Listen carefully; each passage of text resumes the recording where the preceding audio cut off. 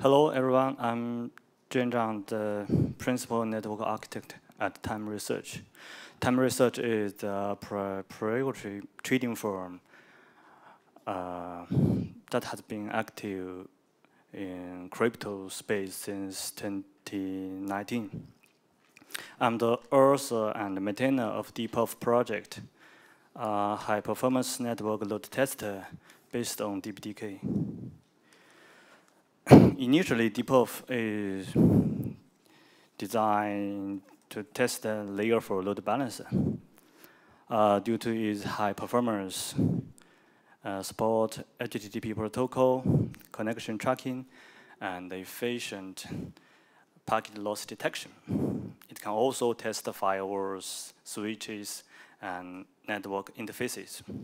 Some even use dperf as a high-performance HTTP client and HTTP server for testing.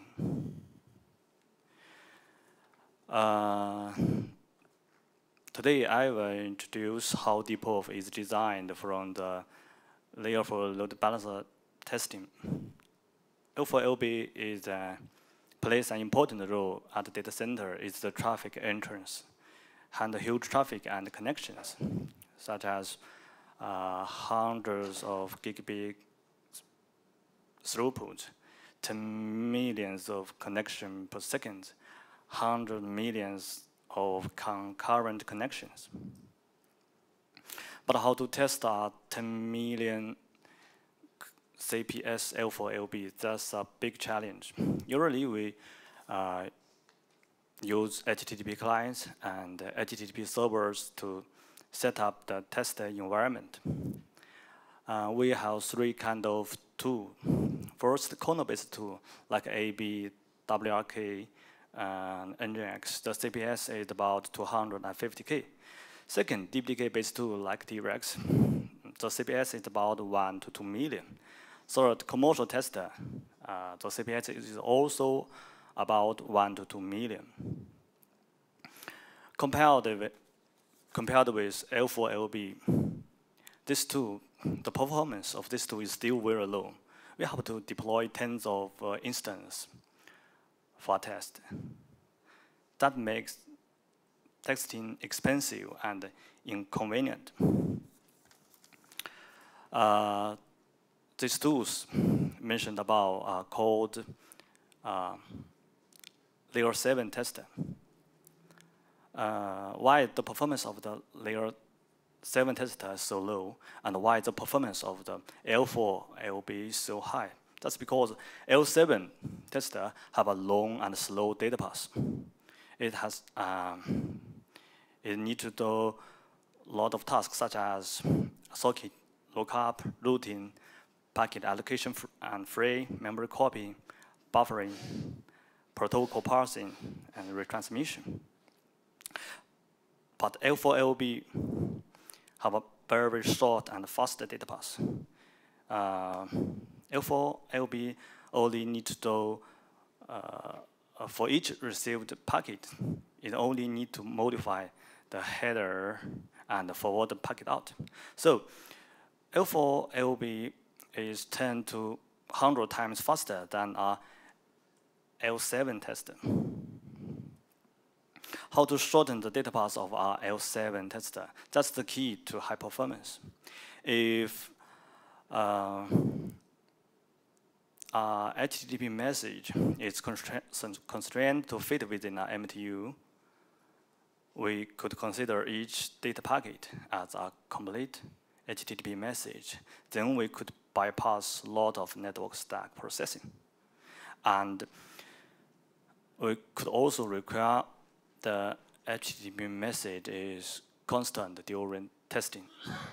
That network stack would be quite basic, but it would be highly suitable for uh, L4 LB testing. Let's take a look at dperf network stack. Uh, after receiving a packet, dperf uses an O1 algorithm to look up a socket. Then it select the uh, data ca packet cache and pick up packet from the cache and update the headers, then send the packet out. dperf has three kind of packet. There are ACK packet, SYN packet, and data packet. Most part of the packet uh, is fixed. Only the red part need to be modified before sending. They are IP ID, TCP sequence, TCP uh, ACK sequence, and TCP flags. Uh, socket lookup optimization is the, the key to achieve high performance.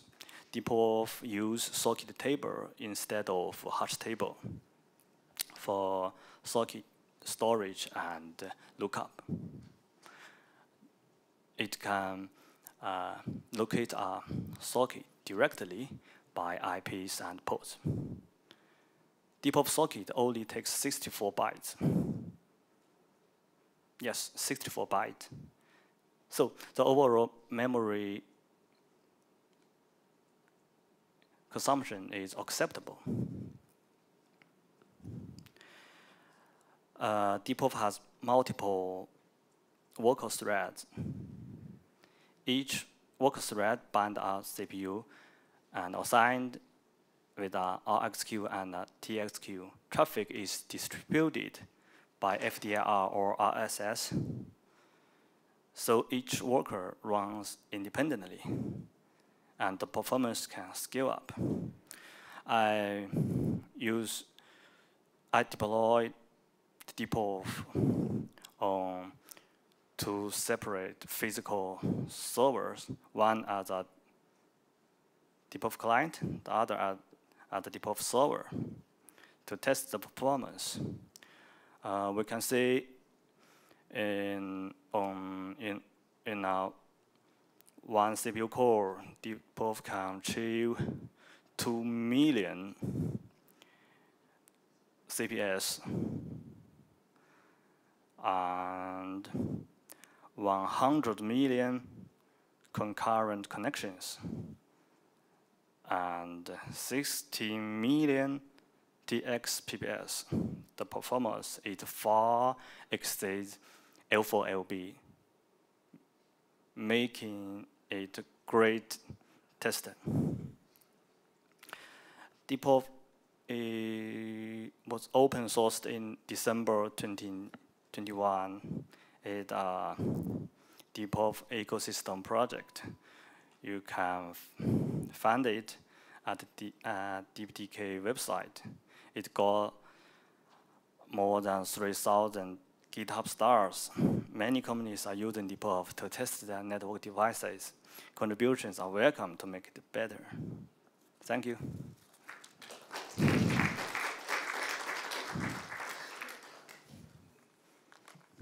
Thank you. Um, do we have any questions about dperf? We have a little bit of time.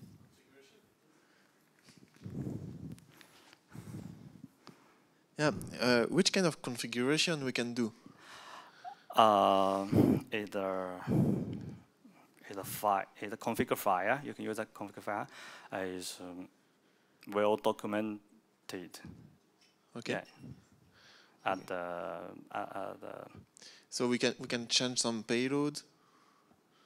We can change some payload at some layers. Oh, okay. Uh, yes, you can configure the payload. Okay. Payload size and uh, um, the speed packet PPS, configured PPS, and uh, uh, how many connections, and the CPS. Yeah. Okay, thank you. That's great. Something to be evaluated in UNH probably. Thanks. Thank you. Is it free to use, like free to download and use, or is there a pay to play kind of a thing? Oh, it's open sourced. Open source, free to use. Yeah, yeah, yes. Okay, awesome. yes. Thank you for Yes. doing it. Um, so there's a client side and a server side. Yes, like a commercial tester, it has a client side and a server side. Okay, so is the timing independent. My question is, if I if I use this to send uh, traffic through a shaper, will it work? Sorry?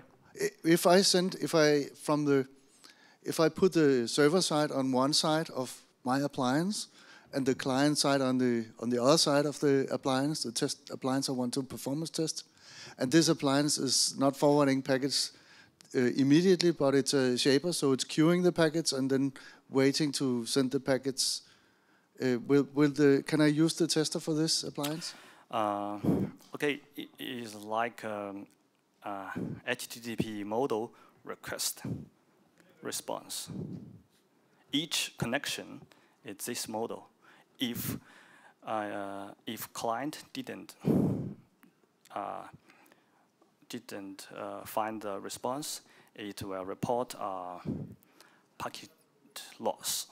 Okay, but if if the response comes, let's say 20 milliseconds later, is that okay? Uh, uh, the server may retransmit the retransmit the packet, and the client may uh, send a ACK. That's that's uh, run a TCP stack. So, so if if the client sends a packet If and three, the, it gets delayed, and then the server receives it, sends a repo- response, and then it gets delayed, and then the client Uh, receives it. it, has three three second. Uh, if any side didn't receive the other side's data, it uh, may report a, a packet a packet loss.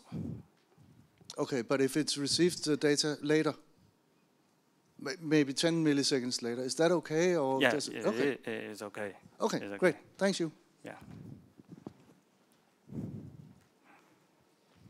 Okay, this is not a question, but uh, yesterday you had a comment uh, when we were talking about DTS. Um, what I wanted to say is uh, in the DTS framework, we are creating a traffic generator abstract class.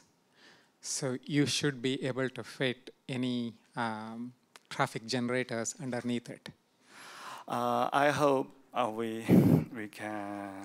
I hope dperf may, uh, is helpful, and uh, we could um, maybe dperf may provide um, uh, more interface for configuration, more friendly. That is is more suitable for your case. Sure, yeah. Yeah, Yeah, it would uh, be good. it- it is very stable, and performance uh, is the best in the world. Sure. I can say. Sure. Yeah. Uh, if if you have time, you know, uh, take a look at the uh, traffic generator abstract class that we are putting in DTS framework, and see whether that uh, fits dperf. I, I, I, I know some guys at Intel Shanghai. They use dperf. They have used.